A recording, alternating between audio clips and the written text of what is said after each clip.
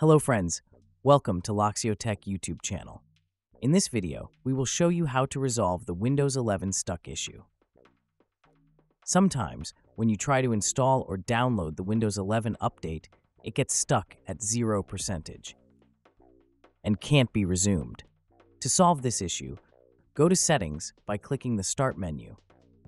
Then open the Systems menu. Scroll down to find the troubleshooting options and open it. Then open other troubleshooters. Then run the Windows Update troubleshooter. If any issues are found, it will automatically detect and solve the problem. Then restart the system and try again to install the update. Still, the problem is not solved.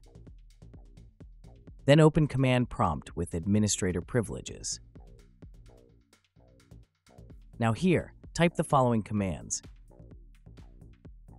Net space stop wuauserv and hit enter. It will stop the Windows Update service. Once it is done, then execute another command. Net space stop space bits. It will stop the background transfer service.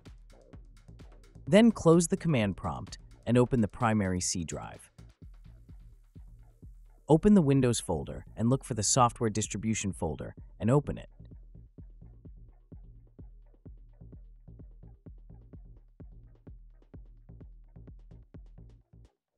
Delete all the files and folders in that folder and restart the system.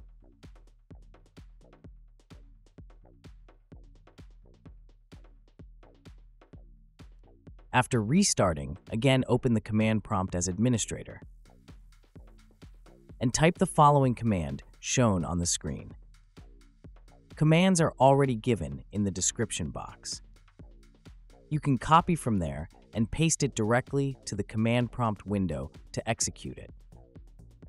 These commands help to restart the update service and background transfer service. Then close the command prompt and retry to update Windows.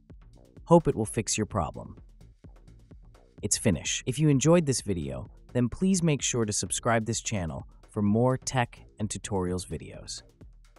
Also make sure to hit the bell icon to get the future upload notifications. And leave a comment if you have any suggestions or doubts.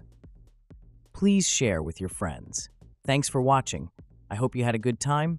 See you in the next video.